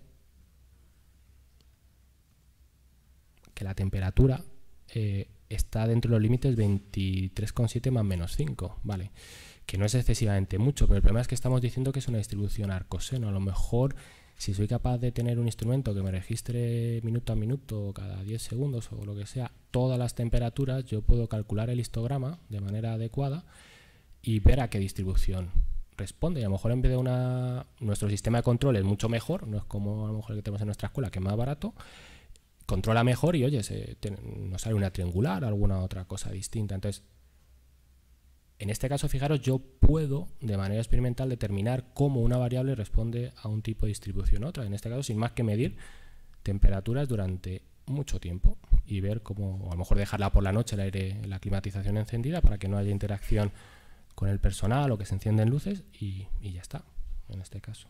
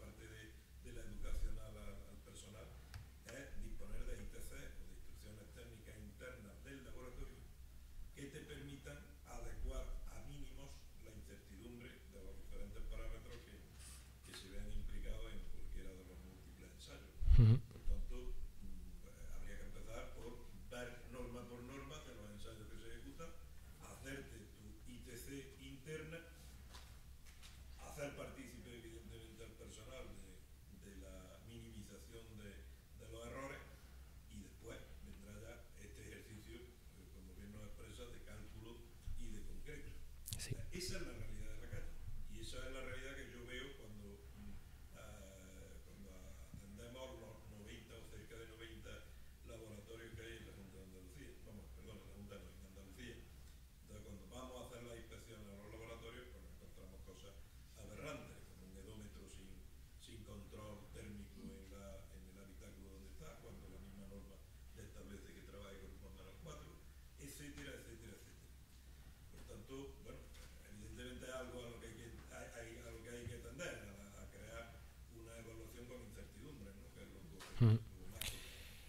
Sí, efectivamente. Es decir, estas ya sería. Nosotros siempre englobamos la incertidumbre dentro del control también de calidad. Es decir, nosotros cuando hacemos una medida a nivel industrial, que no se hace, seamos realistas, la industria debería decirnos también cuál es la incertidumbre para poder contrastar esas medidas contra las especificaciones, como hemos dicho. Eh, pero muchas veces los problemas que puedan aparecer se pueden minimizar si hay un procedimiento, y yo siempre les digo a mis alumnos, un guía burros. Es decir, tiene que estar escrito como si la persona que va a leer ese procedimiento en la vida ha visto esa máquina y no dar nada por sentado, de tal manera que quede todos los pasos muy, muy claros. Y muchas veces nosotros sí que hacemos referencia a normas, ensayos, pero en nuestro procedimiento la norma ha desaparecido. Es decir, nosotros tenemos nuestro procedimiento de trabajo y lo único que nos vamos diciendo es, vale, coloca la máquina, lo haces de esta manera, tal, tal, tal. Y muchas de esas recomendaciones son efectivamente lo que dice la norma, más otras que nosotros vamos añadiendo pues por nuestra experiencia, nuestros estos. De esa manera, ciertos errores que de otra manera serían difícilmente cuantificables, los podemos reducir. Y podemos decir, bueno, están dentro de unos parámetros normales, pues bueno, los dejo ahí y tiro.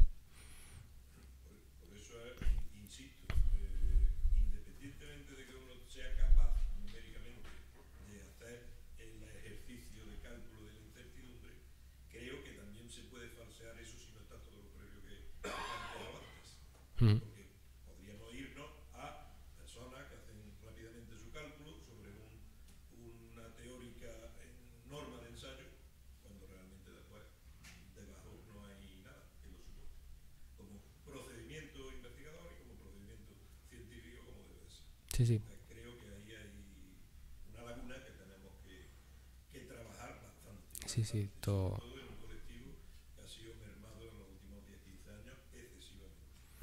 totalmente de acuerdo. Vamos, los gastos que podemos imputar a calidad en cuanto a formación de personal para estos temas siempre son gastos dices, vale, sí, tengo que tener un curso, tengo que hacer no sé qué, pero al final son gastos que se van a repercutir ya sea en una empresa, en un laboratorio y que a corto o medio plazo eh, van a sacar bastante partido y vamos a reducir errores, problemas y la calidad, los gastos asociados a la no calidad, pues se reducirán. Es decir, no sé si es vuestro caso, pero a lo mejor si se hace una calibración incorrecta o alguna medida incorrecta, el cliente puede tener un histórico, ver que lo que tú el resultado que le estás dando, por ejemplo en algún patrón que nosotros tenemos en nuestro laboratorio, que nosotros le enviamos a calibrar y de repente, tras mandarlo a otro laboratorio, vemos que hay un salto brutal con respecto a los valores. Pero si no hemos maltratado tanto el patrón, ¿por qué es estas cosas tan raras? Pues nada, oye, enséñame el procedimiento, enséñame no sé qué, más o menos una queja y al final había unos errores en ese procedimiento. Es decir, y eso al final es un coste para ellos porque han tenido que volver a dedicar personal horas para hacer esos cálculos, hacer lo que sea. Entonces, desde luego.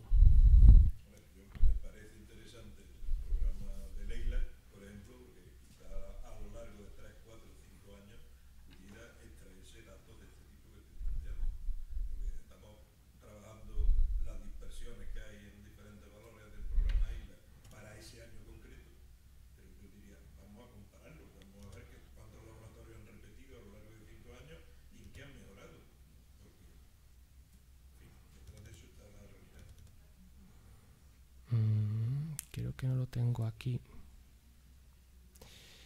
si no ahora pongo el disco duro y os lo enseño. Al principio de la sesión empecé hablando sobre los coeficientes de compatibilidad y otros términos que nos permitían en una comparación entre laboratorios ver cómo de bien o de mal nosotros estamos midiendo. Eh, voy a coger un segundín.